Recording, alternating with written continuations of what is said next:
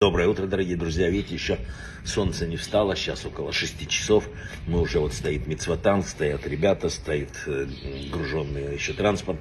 Мы сейчас выезжаем колонной прямо в армию. Хотим солдатам, везем халы, вино, э, свечи, чтобы вместе с ними отпраздновать э, шаббат, чтобы чувствовали люди, что мы едины. Вообще сейчас две вещи очень важны. Сейчас испытание периода Машеха.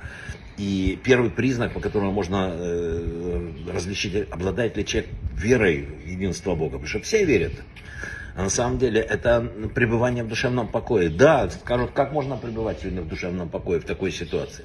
И тем не менее так, так это абсолютно так. Человек должен понять, постараться понять, насколько он может, что все, что происходит в мире, является э, последствием наших поступков. Что с абсолютной точностью мира за меру отмерено, то должно как произойти, для чего произойти.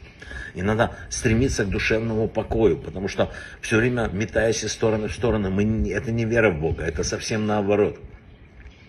Сейчас проверяется весь мир, в том числе э, мы с вами все проверяемся на единство Потому что когда единым, один раз нам написали в Торе, мы стояли единые у горы Синай. Все остальные случаи нам мешало разделение. Сегодня, знаете, вот был такой раби Гидалия Маше Гольдман, он был главой хасидской общины в местечке Звиль такая была. Э, это Новоград-Волынский теперь. И советская власть преследовала его за религиозную деятельность. И после того, как были закрыты все учебные заведения еврейские, он преподавал в подпольном хедере. Его арестовали, отправили в лагерь. И жизнь там была трудной, мучительной. Он был сильным человеком, выжил. И однажды его вызвали к коменданту лагеря. И вместе с другим пожилым евреем, совсем уже слабым, болезненным, комендант сказал, настал у вас счастливый день, вас двоих освобождают, вот бумага, подпишите документы, и вы свободны. А был шаббат. Раби Гидалия Маше попросил минуту на размышление. Это был шаббат, еще раз повторяю, еврейский закон запрещает что-то писать.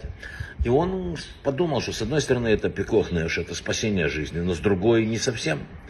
Он не в лагере смерти, он здоров, точно еще день, наверное, протянет. Он сказал, что не может подписать эти документы.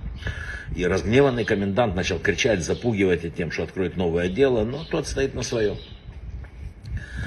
Посчитав, что он ненормальный, комендант потребовал, чтобы его подписал старик второй. Но тот, став свидетелем величия души Равина, устыдился и сказал, я тоже не буду писать. И затем произошла поразительная вещь. Раби из Виля сказал, попросил ручку и сказал, что он готов подписать за того человека. Этот человек старше, он болен, и для него действительно это опасность для жизни. Он должен выйти на свободу как можно скорее. Комендант был поражен до такой, ну, такого не видел никогда. Он сказал, ладно, идите вы, я сам подпишу за вас обоих. И вы понимаете, что, о чем тут рассказ?